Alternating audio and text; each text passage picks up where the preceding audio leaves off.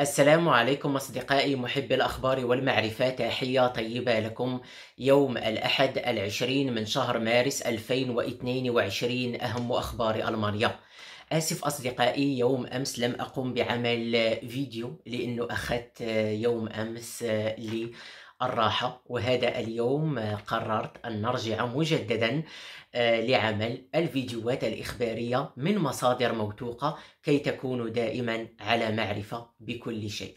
آه، لنبدأ أصدقائي بأهم الأخبار. آه، وزير الاقتصاد الألماني السيد هابك من حزب الخضر بدأ جولته في بعض الدول العربية التي ترغب ألمانيا التعاون معها والاعتماد عليها من أجل نقص التبعية للغاز والنفط الروسي.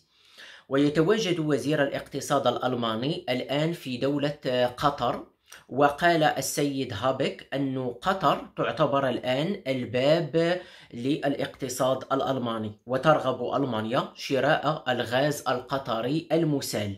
المشكلة الكبرى حاليا لدى ألمانيا أنها لا تتوفر على موانئ لتكرار الغاز المسال لذلك ممكن بالبداية الاعتماد على دول أوروبية جارة لألمانيا مثل هولندا التي يمكن أن تستقبل البواخر المحملة بالغاز المسال وبعد ذلك آه، تقوم هولندا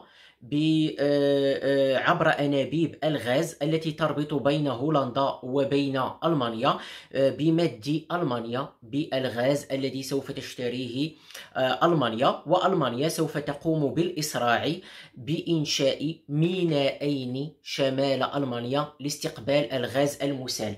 تقريبا موانئ الغاز المسال توجد تقريبا بجميع الدول الأوروبية سوى ألمانيا. آه، آه، التي هي أقوى اقتصاد في أوروبا. رغم ذلك ألمانيا لا يوجد فيها أي ميناء آه، متخصص لاستقبال الغاز المسال لأن ألمانيا كانت دائما تعتمد على الغاز القادم من روسيا الذي كان يمر إما عبر البحر مباشرة من روسيا إلى ألمانيا أو الأنابيب الأخرى التي كانت تمر عبر أوكرانيا أو عبر بولا هولندا عبر آه، بيلاروسيا.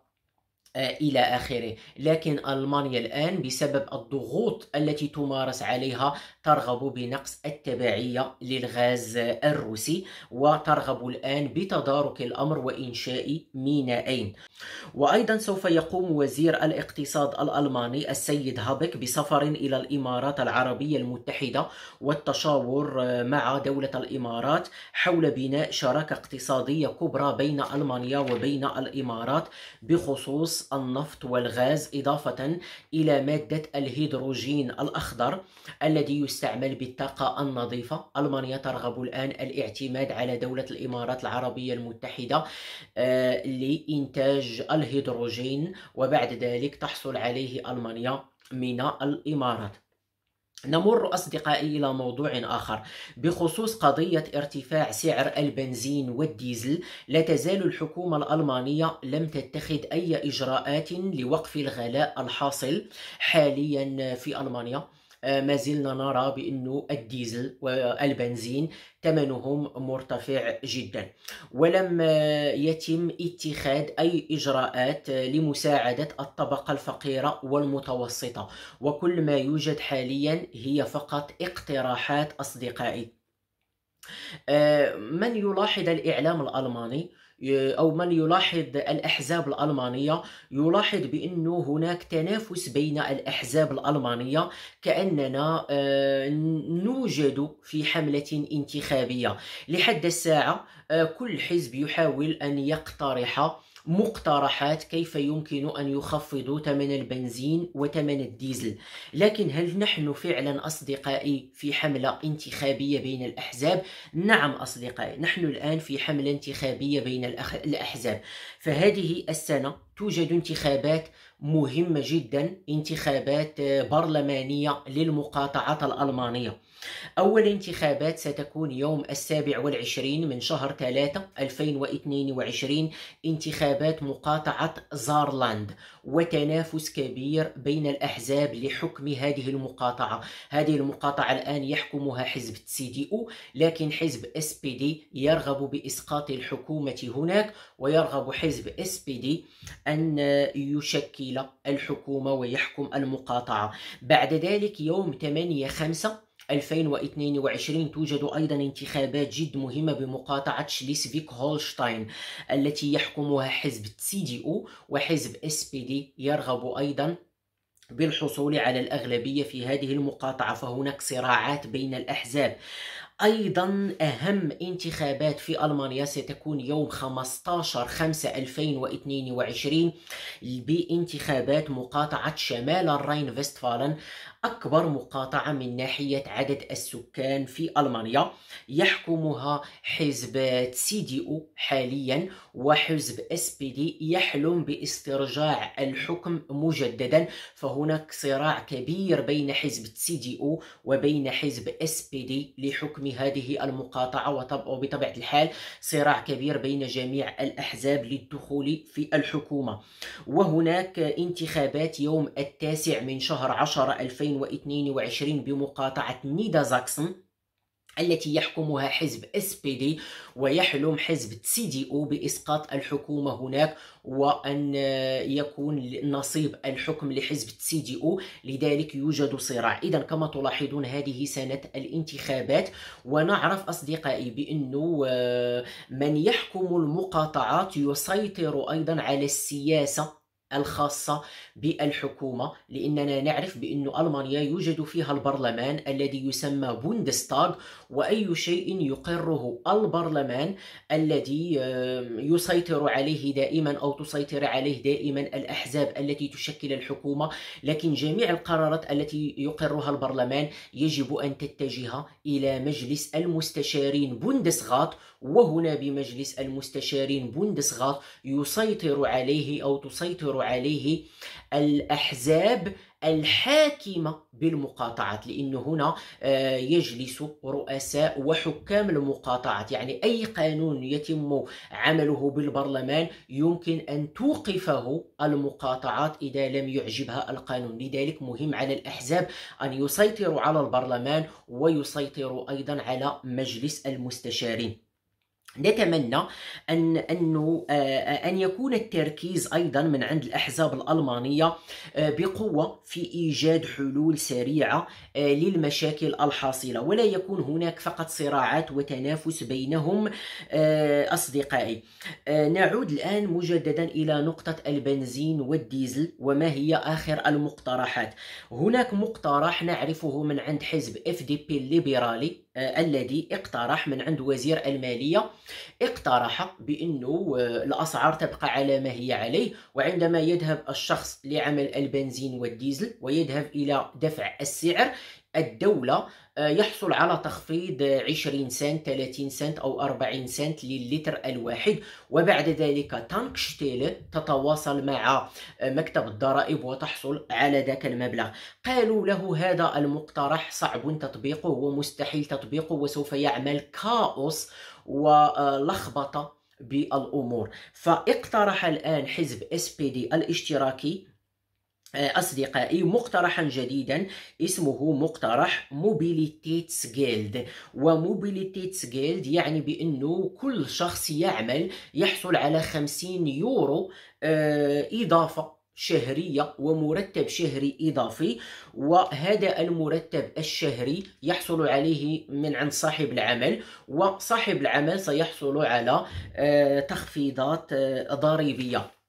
والآن بدأ النقاش حول هذه المسألة. وجاء أيضا مقترح ثالث من عند حزب CDU آه الذي يوجد بالمعارضة الذي قال لهم لا تعملوا هذه الأمور خفضوا الضريبة من 19% إلى 7% لكن على حسب الصحف الألمانية فإنه المقترح الذي جاء من عند حزب SPD الذي يسمى Mobilitätsgeld بدأ الآن النقاش عليه عند الحكومة يعني عند حزب SPD حزب FDP الليبرالي وحزب الخضر بدأوا الآن يتكلمون عن المقترح ويقولون بأنه آه، ليس الكل سوف يستفيد من هذه المنحة. يقولون بأنه من مرتبهم أقل من 2000 يورو سيحصلون أو سيرغبون بإعطائهم 50 يورو زيادة للمرتب شهريا لتغطية ثمن البنزين والديزل. من مرتباتهم؟ أقل من 3000 يورو شهريا يحصلون على 30 يورو شهريا زيادة. من مرتباتهم؟ أقل من 4000 يورو شهريا يحصلون فقط على 20 يورو زيادة. من مرتباتهم؟ عالية. بكثير لا يحصلون على شيء. يعني الأغنياء أو من مرتباتهم كبيرة يقولون لهم بأنه أنتم ادفعوا وتحملوا ثمن البنزين والديزل. آه، آه، أصدقائي وقالوا إذا هذا هو ما يناقشونه ليس قرار. متى يبدأ؟ لا يعرف. هل سيقبلون به؟ أيضا لا يعرف. وإذا طبقوه يمكن أن يطبقوه فقط لثلاثة أشهر أصدقائي فهذا هو المقترح. إذا ألمانيا ما زالت فقط الأحزاب تقترح. نتمنى إن شاء الله بأن يسرعوا بتطبيق مقترحاتهم وأن يجدوا حلولا يستفيد منها جميع الشعب الألماني دون حرمان أحد أصدقائي.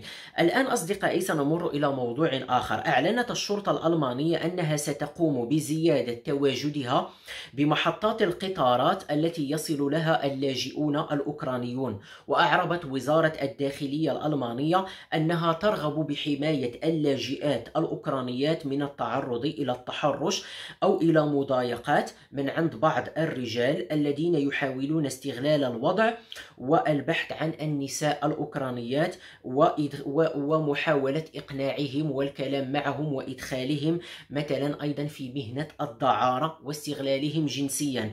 وقالت بأن وزارة الداخلية بأنها ستكون حازمة وسوف تراقب الأمر وسوف تعاقب من يعمل هذه الأمور. ووصل عدد اللاجئين الأوكرانيين الذين دخلوا إلى ألمانيا الآن إلى 207,742 لاجئا ويتوقع أن يرتفع عدد اللاجئين بشكل كبير بالأيام المقبلة بسبب استمرار الحرب في أوكرانيا واستمرار القصف الروسي للمدن الأوكرانية الكبرى. وأيضا بسبب أن دول مثل بولندا لم تعد عندها بالمستقبل الإمكانية الكبيرة لاستقبال أعداد هائلة من اللاجئين. بولندا استقبلت لحد الساعة 2 مليون لاجئ أوكراني. آه، لذلك يظنون بأن مجموعة من اللاجئين الآن يمكن أن يمروهم إلى ألمانيا. هناك أيضا مطالب بالإسراع والتعاون مع دول أخرى مثل بريطانيا مثل كندا ومثل أمريكا التي لم تستقبل آه، سوى عشرات من اللاجئين. وهناك مطالب تقول بأن هذه الدول كندا أمريكا وبريطانيا يجب أن ترسل طائرات وهذه الطائرات تستقبل وتحمل اللاجئين هناك كي تخفف على دول أوروبا الشرقية أو على دول أوروبا الغربية أصدقائي. بدأت أيضا الشكوك حول جدية المفاوضات بين روسيا وأوكرانيا وهل فعلا هذه المفاوضات تسير بالطريق الصحيح لوقف الحرب وإنقاذ أرواح الناس أم أنها بطيئة جدا ولا أحد من الأطراف آه، يرغب الآن بالتنازل قليلا؟ آه للأسف لا توجد تنازلات آه كل دولة متمسكة لحد الساعة برأيها ومقترحاتها وهذا للأسف يطيل أمد الحرب ويزيد من القتلى ويزيد من التهجير ويزيد من الفقر ويزيد من ارتفاع الأسعار. آه نتمنى بأن الأطراف الأوكرانية والأطراف الروسية أن تتنازل شيئا ويصلون إلى حل وسطي يرضي جميع الأطراف لوقف آه، سفك الدماء ووقف, هذه الحرب ووقف تهجير الناس ووقف ارتفاع الأسعار التي تؤذي الطبقة المتوسطة والطبقة الفقيرة. فأوكرانيا روسيا آه، تطلب من أوكرانيا التخلي عن جزيرة القرم. شبه جزيرة القرم التخلي عن شرق أوكرانيا والتخلي عن الانضمام إلى حلف الناتو وأيضا تطلب منها تقوية اللغة والثقافة الروسية داخل أوكرانيا. أوكرانيا تطلب من روسيا تقبل بأن أوكرانيا دولة حرة ودولة مستقلة وأن أوكرانيا وشعب أوكرانيا لهم الحق في اختيار ما يشاءون وأنهم لا يرغبون الوصاية الروسية. وأوكرانيا تطلب أيضا من روسيا عدم التدخل بالسياسة الداخلية والشأن الداخلي لأوكرانيا. وتطلب أيضا أوكرانيا من روسيا الانسحاب الفوري من جميع الأراضي التي سيطر عليها الجيش الروسي. نتمنى إن شاء الله أن يجدوا حلولا سريعة وسطية ترضي الطرفين وتتوقف هذه الحرب. نمر أصدقائي إلى الحالات. سجلت في الأربع وعشرين ساعة الأخيرة. ألف مئة وواحد وثلاثون ألف وسبعمائة واثنين وتسعون حالة وتوفي تسعة وأربعون شخصا. عدد الحالات الجديدة لكل مئة ألف نسمة ألف وسبعمائة وثمانية فاصلة سبعة. كانت هذه أهم أخبار ألمانيا أوروبا والعالم. شكرا لكم. السلام عليكم. إلى اللقاء.